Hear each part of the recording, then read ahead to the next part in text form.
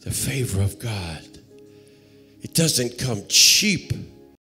It doesn't come just because you asked for it once or twice or thrice. It comes because you're living and walking according to His plan and His purpose. And I release now from heaven by the Spirit of the Lord as God's servant and His prophet. I release the spirit of wisdom, knowledge, understanding, the power, those attributes of the Holy Ghost upon you. God wants to take you to a new place. Hello.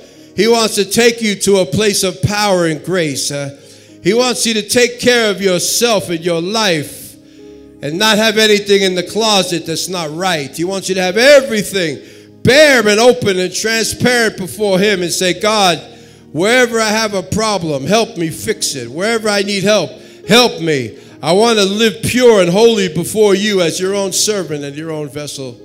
God will honor that